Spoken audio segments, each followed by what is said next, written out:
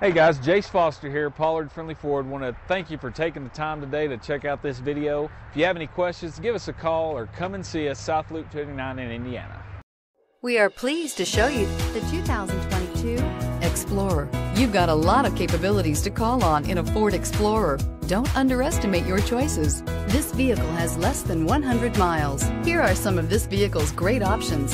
Backup camera, navigation system, backup camera. This isn't just a vehicle, it's an experience.